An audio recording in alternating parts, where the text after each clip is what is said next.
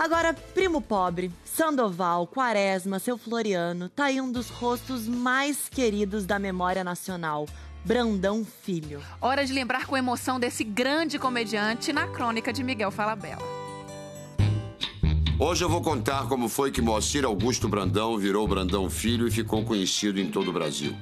Com seu humor ingênuo, olhar expressivo, gestos largos e mãos agitadas, era um artista capaz de arrancar gargalhadas sem precisar abrir a boca, apenas com suas caretas e trejeitos. Um gênero de humorismo, eu era considerado um ator exagerado meus gestos, né? a minha expressão corporal, a minha expressão fisionômica, um careteiro, então eu sempre fui muito assim. Nascido em 1910, Brandão foi de circo, de teatro, mas foi na Rádio Nacional, onde trabalhou por 38 anos, que ele encontrou a sua grande paixão. E as pílulas de vidro Dr. Ross, laxativas e antibiliosas através da Rádio Nacional, passam a apresentar. Tancredo e Trancado. E era tão apaixonado pelo que fazia que nos áureos tempos da emissora chegou a atuar em seis programas por dia, sempre com personagens cômicos. Um desses papéis era o Tancredo, da dupla Tancredo e Trancado. Eu vou trabalhar uniformizado de camisola de renda, que é para mostrar que a profissão é rendosa para chuchu. A consagração maior aconteceria no início dos anos 50 com o programa Balança Mas Não Cai. Nesse sucesso estrondoso, Brandão interpretava o primo pobre, que fazia dupla com Paulo Gracindo, o primo rico. Foi exatamente esse personagem que abriu as portas da televisão para o comediante. E o mesmo quadro na tela da Globo conquistaria um público ainda maior. Eu sempre ouvi dizer que você anda montado no dinheiro. Né? e você, qual é o cavalo que você monta? Bom, atualmente eu estou montando o Big Calote, Big Pendura, Royal Espeto. E eu também monto aquela parelha Miséria e Fome. Mas numa brincadeira de fim de ano, eles fizeram diferente. Aceita uma, uma refeição ligeira. Aceito, primo. Pelo amor de Deus, aceito. Ô, Charlie, traz uma refeição ligeira pro primo. Yes! Vamos! A refeição é aqui, é pra, é pra ser aqui, então. Cadê a minha refeição? Ué, mais ligeira do que isso não é possível. Primo, você é ótimo. Você também é ótimo. Ótimo. Você que é feliz, primo. Você é felicíssimo. felicíssimo. Invente. Tente. Faça um 92 diferente. Outro endereço certo do sucesso foi o da Casa da Grande Família. Na primeira versão da série, ainda em preto e branco, lá nos anos 70, era de Brandão o papel do aposentado seu Flor. Um vovô rabugento e querido, o mais amado de todo o país. Meu nome não está no jornal. Também não tem importância. A única celebridade nesta casa que aniversaria hoje sou eu. Vem, vamos começar a maratona. Papai. Nenê. Ao final da série, Brandão foi escalado para a novela Saramandaia barbeiro e maestro da bandinha da cidade, pai de seis filhas, seu personagem vivia aterrorizado com uma certa lenda. Nenhum deles correu o risco que eu estou correndo agora com a minha mulher de bobó. Que risco é esse? Oxe, de nascer homem e virar um bisomem que nem o professor Listóvão. Na novela Nina, Brandão vestiu um tapa-olho em cena para mandar bem o seu recado mais uma vez.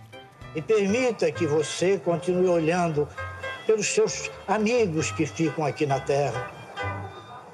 Principalmente por aqueles que se metem em tantos apuros a fim de obter um pouquinho mais de felicidade. Adeus, Tobias. Que a terra lhe seja leve. Já em Te Contei, fez um músico de churrascaria que morava na pensão de Lola, interpretada por Eva Todor. Os dois viviam batendo boca. Dona Lola? Fale, senhor Tutu. Acabou aquele vinho branco que a senhora tem escondido lá no seu quarto? Não, senhor Tutu, não acabou. Hum. Mas aquele vinhozinho é somente para hóspedes de alto nível, de gabarito. E, evidentemente, não é o seu caso. Com licença. Depois diz que não morde.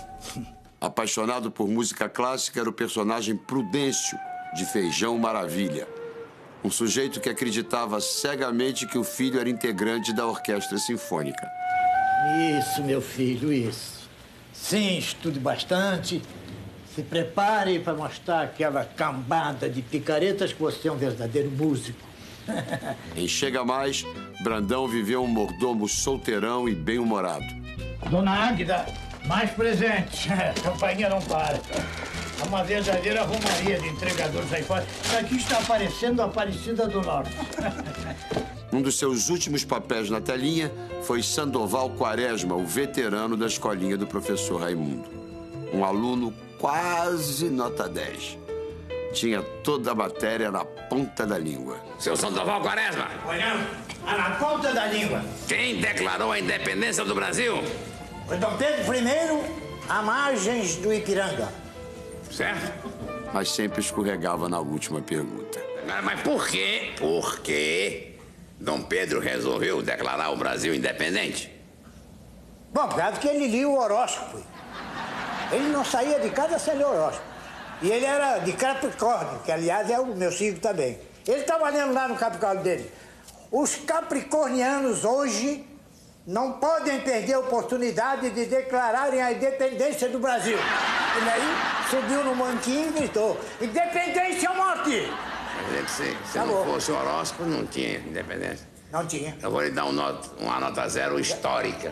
Mas do que Brandão sempre teve certeza foi de seu amor pela arte. Brandão Filho está fazendo agora 50 anos de carreira. Valeu a pena, Brandão? Assim, claro. Claro que valeu. Eu, se pudesse começar novamente eh, a minha carreira, e foi em 1929, eu faria com grande satisfação. O que, que leva uma pessoa a dedicar 62 anos da vida à profissão? Bom, eu, eu acho que eh, eu nasci para ser ator. Eu, moço, eu, eu, antes de ser ator, eu fui funcionário de banco, trabalhei, fui tudo na vida, até condutor de bonde eu fui. No ar, fez maravilhas. Em cena, esbanjou vitalidade. Apesar do seu bordão mais conhecido dizer exatamente o contrário. Mata o velho, mata! Engargalhava com Brandão na telinha, poderia achar que ele era um sujeito de riso frouxo, um contador de piadas nato.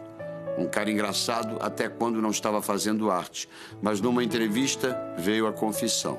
Você é uma pessoa assim, engraçada, divertida no dia a dia? Ou é uma pessoa caladona? É, sou inteiramente triste. Eu sou fechado até demais. A pessoa até que me confunde, pensa por, pelo, por esse meu feitio assim de falar pouco. E pouco conversar, que eu tenho alguma pretensão, alguma coisa. Não é que eu sou assim. Mas quando estava no palco ou no estúdio, qualquer tristeza ia embora. E surgia um senhor com pinta de palhaço, jeito de palhaço. E somente depois de 88 anos de espetáculos, o artista partiu para alegrar outros picadeiros.